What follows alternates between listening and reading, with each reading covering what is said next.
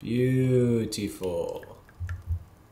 This is it. I just made a scallop dish that I'm gonna make at a pop-up dinner for 35 different YouTubers. And I wanna show you how I made this dish. I'm gonna go over to Pike Place Market. We're gonna grab some cherries because they're in season, some scallops. I'm gonna make a furikake, and I'll just run you how I made this dish. All right, everyone. I'm here at the Pike Place Market. I'm gonna do a little video on fruit at one of the fruit stands here. I think stone fruits are in season, so let's go find us some stone fruit right now. Get out of here. Right, what's up, man? Hey, what's up, Chaz? Hey, doing great, man. Nice to see you. Good to see you too. Thanks again for that great video. I didn't even realize till somebody showed me later. Oh, you That saw? was great, yeah. For sure. I'm just doing a thing with stone fruits today. Okay. I was thinking cherry or blua. Yep, or- come and check them out. Actually, I could probably bring you out a. I got these beautiful new uh, things that were just picked in Wenatchee. Oh, sweet. To die for, and I have a handful of huckleberries today. If you're in the mood. Ooh, that'd be good too. Hey, how are you? Good, man. Good to see you, man. Good to see you I watch your video all the time. Oh, you do? These are uh, farm fresh. So my buddy Jesus, who's been doing business with us for I don't know 20 some years, he is our like he's our cherry guy, and he just brings us. Um, you have to get scale in there though, just to show you how big these are. We call these eight rows. Nice. There's, uh, there's like a little like a there's like a a scale that shows they're like they have holes in them, right? Yeah. And so the smaller the number, the larger the hole. And this, when you get into single digits like this, this is like the holy grail. When they get to be eight and nine rows, Yeah. typically we get 10 rows here in Washington State. Um, but these are ginormous, and with the size comes the Those are super nice. Yeah, they get all the sugar too when they're this big. You want to try one? Game Matt. Hey. Hey man, I subscribed to you, bro. Oh, thanks, man. Yeah, Try that bro. out, seriously. You can have those. You can have a little taste. Oh, I didn't know you guys all watched it. You do now. Shoot, I've been a subscriber, bro. Wow. Yeah. How you doing? Good, man. How you been? Good. Just gonna get some cherries here. Heck yeah. Some pucks too, which These are freaking bomb, Aren't dude. these great? I They're want almost to like serve these meal. with uh, some scallops. Perfect. Let's Perfect. go make a sabayon. Let's do it. How many people are you cooking for? Is it a demonstration? Thanks, Chaz. Hey, everyone, this is Chaz here, Hi. All right. the cool. awesome man behind Frank's Produce. Or Market. one of many. I've been coming awesome here for like almost 10 years. All right, bro. Yeah, of course. Anything else, Matt? All right. I want to talk about stone fruit in this one and cherries in particular. Yes, they're a stone fruit, and I want to make a cherry sabayon for a dish that I'm making at a pop-up dinner called We Bussin', but more on that in the next video. So I want to make a sauce for a scallop dish. And the sauce that I'm gonna make is called a sabayon. Now a sabayon typically has a wine in it, like we used to do champagne at work. But for this one, it only makes sense to use a plum wine for this.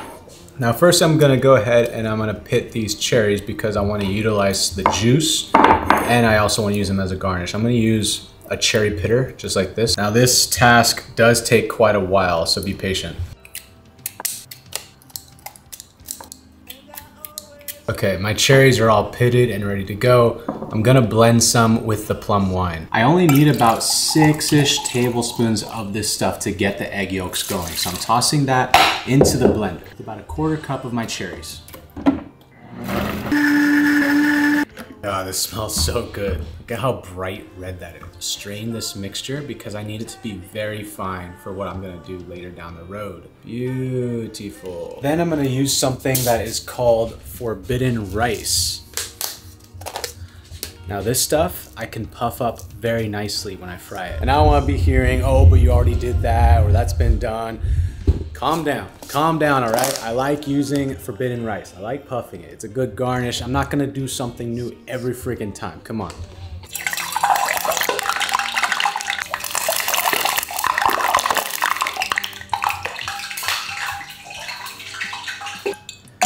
Now, when it comes to frying my rice, I prefer to use rice oil so it won't give it much of a taste. So the thing about this is you have to use forbidden rice. It cannot be any other black rice. Now, the reason being is forbidden rice, it's going to puff when you fry it straight from raw. If you want to do this with any other rice, I will do a video on it if you comment down below. It's a very simple method. But for this one, it's just gonna be straight up raw forbidden rice. Toss it into our hot oil and then we just fry it off.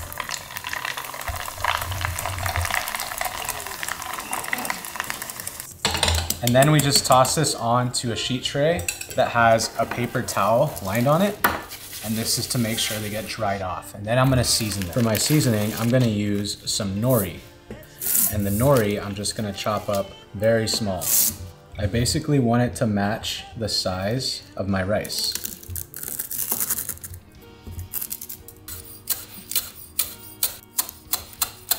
And now we toss in the nori, followed by our rice, espelette for some spice, and then some dried California garlic flake. Season that with some kosher salt. And there we go. We have a beautiful, what I would consider a loose version of a furikake. Definitely not an OG version of a furikake. Let's try it out. That's delicious. Michael B. Jordan delivers a brawler in Creed 3. Has anyone seen this movie? I haven't seen it yet. Anyways, scallops. I would love to go over with you guys this little tidbit about scallops because I don't think a lot of you know this. First things first, very obvious. Your scallops, they should smell like nothing. If they smell fishy, toss them out. That's a no-go. I had some that were fishy smelling the other day. I did not eat those. Anyways, do with the scallops is you have to clean them of the adductor muscle. Actually, it looks like these might be cleaned. Wow. Okay, so it looks like my fish butcher cleaned these for me. I did buy them from Pike Place Market. They are very professional there. But let's pretend here. Typically there would be a little right here. You see that? That's the adductor muscle. You pull that off and that is how we clean the scallop. This stuff is gonna be chewy. We can save this, mince it up, and make a nice sauce out of it. Now, whenever I cook any seafood, I definitely pat it dry with a towel. When I was working in a restaurant, I always had a towel on my station for my fish and I would just pat it dry, just like such, before cooking it off. Season it all generously with kosher salt. Get a ripping hot pan, some neutral oil, then the scallops go in.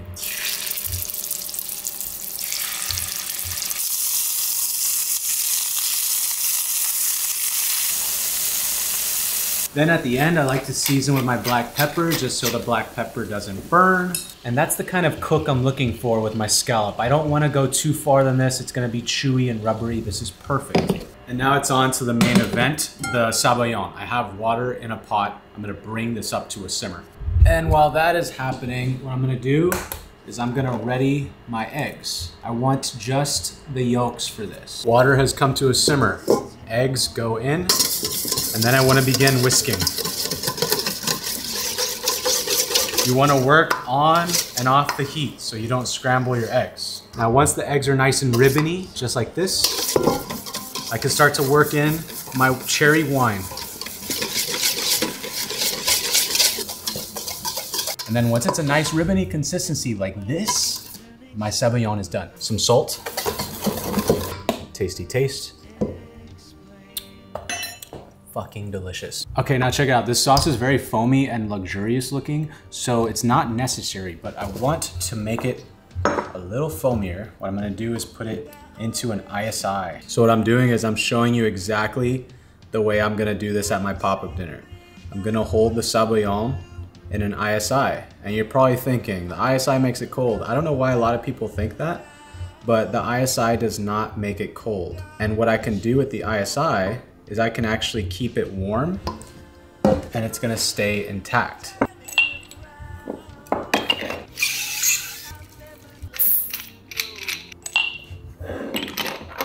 Two charges.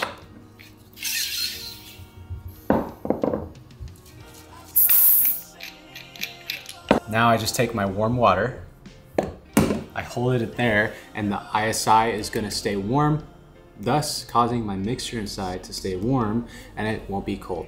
Now sabayon is typically served cold, but for this one, it's gonna be savory. I want it to be warm with my warm scallops. It's gonna be nice. Uh, now all there's left to do is plate up the dish. I'm gonna show you guys how I might plate the dish up, but I think I'm gonna get scallops that are on the shell, so it might be a little bit different, but I'm gonna give you somewhat of a way I'm gonna plate it.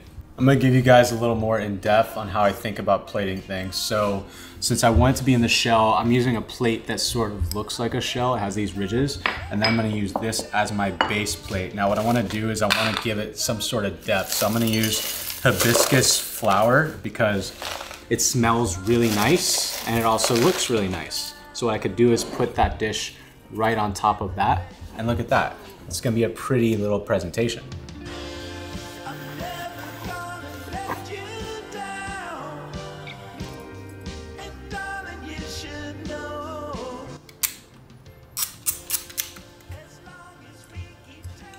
Hmm.